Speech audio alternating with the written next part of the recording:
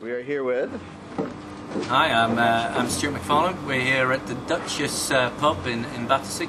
Um, I work for the InBev Beer Company, uh, the makers of Stella Artois.